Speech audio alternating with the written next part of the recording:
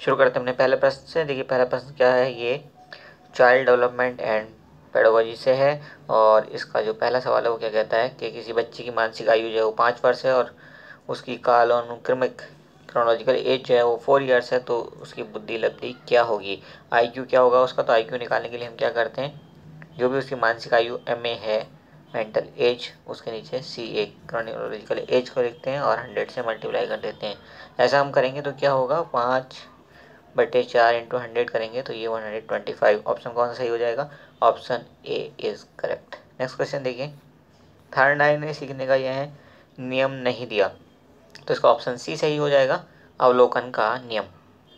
Hold ये देखिए option C is right next question question number third शिक्षण कौशल से संबंधित में से से संबंधित में से कौन है? तो उपयुक्त सभी क्वेश्चन नंबर फोर सीखने की प्रक्रिया में सक्रिय अनुबंधन का आधार क्या है?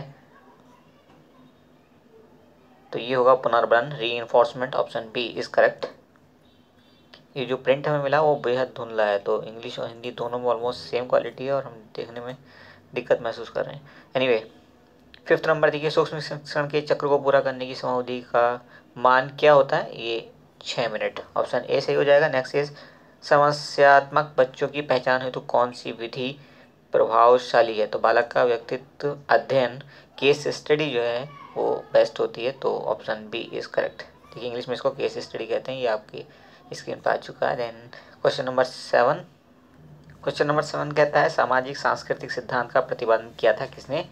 व्यगोत्सकी ने तो ऑप्शन डी आपका करेक्ट हो जाएगा यहाँ पे. Next is question number eight सामाजिक शिक्षा में किस प्रकार के छात्र सम्मिलित होते हैं? तो दोनों, जो जनरल होते हैं वो भी, और जो विशिष्ट स्पेशल चाइल्ड होते हैं, बहुत इंटेलिजेंट वो बच्चे भी सम्मिलित होते हैं तो इसका मतलब option B is correct next question is question number nine समावेशीकरण की सफलता के लिए क्या आवश्यक है?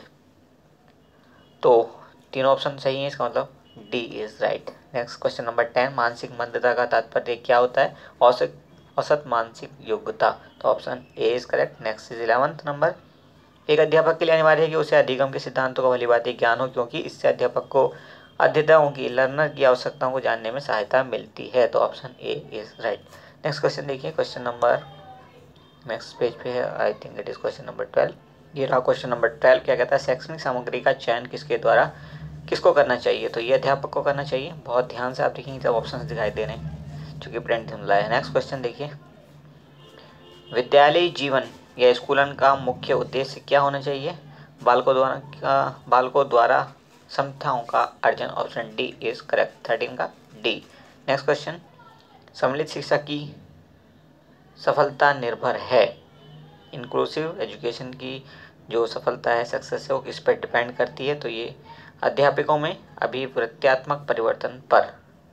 तो ऑप्शन डी यहाँ पे भी करेक्ट हो जाएगा और इसको हम इंग्लिश में दिखा देते हैं। आपको ये देखिए इंग्लिश में लिखा हुआ है क्वेश्चन पूरी तरह से ये attitudinal change among teachers next is question number fifteen बालिकाओं की को शिक्षा बालिकाओं की शिक्षा को प्राथमिकता दी जानी चाहिए क्योंकि लड़कियाँ सामाजिक परिवर्तन का नेतृत्व करने में सक्षम हैं। Option D is correct next question is question number sixteen question number sixteen सोलह नंबर क्या कहता है? मनोविश्लेषणात्मक प्रणाली के जन्मदाता कौन है?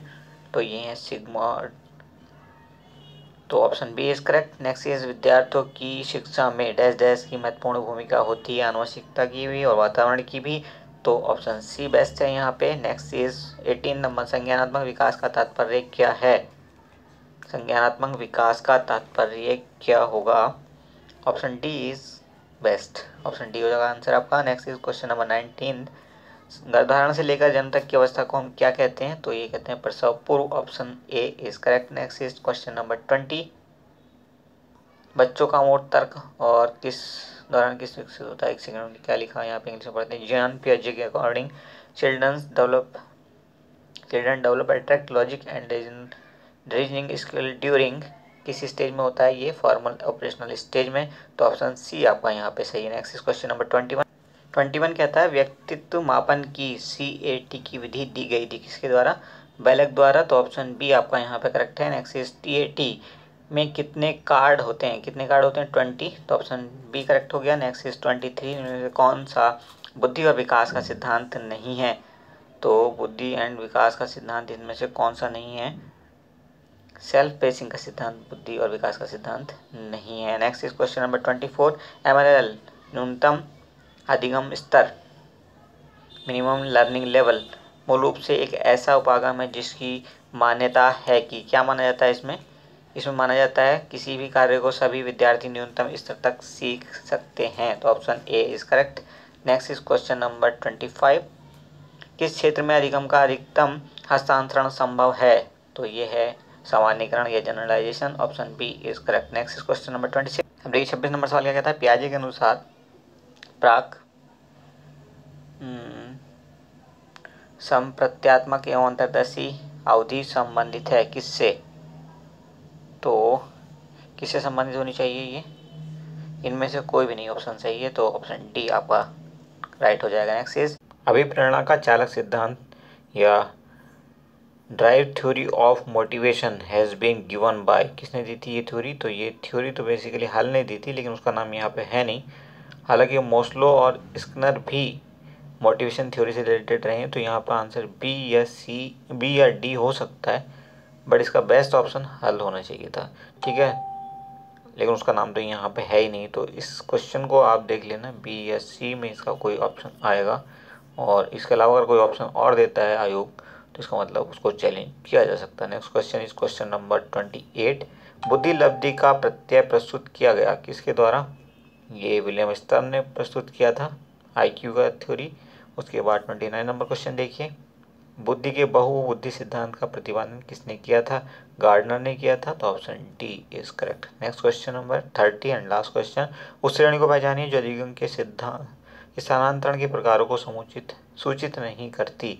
तो कौन कौन से इसमें टाइप ऑफ़ ट्रांसफ़र, अधिगम ट्रांसफ़र।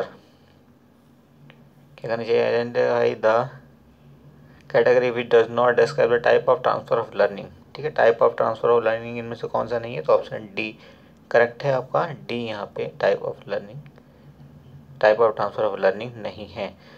तो इस प्रकार से ये तीस के तीस क्वेश्चन हो गए हैं।